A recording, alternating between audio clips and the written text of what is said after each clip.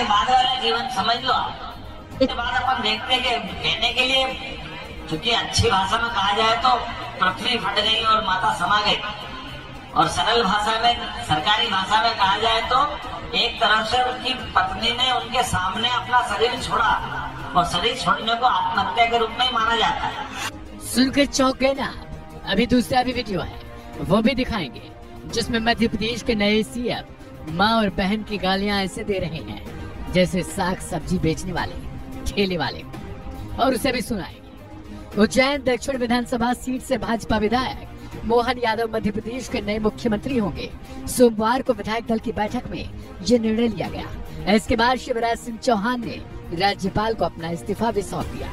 वहीं मोहन यादव सरकार बनाने का दावा करने पहुँच भी गए।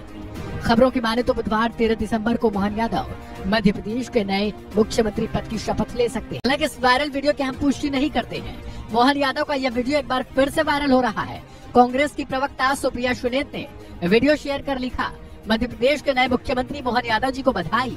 जो अभी बगल वाले छत्तीसगढ़ के विष्णुदेव साय की तरह ही खतरनाक तेवर रखते हैं। आगे आप खुद सुनिए।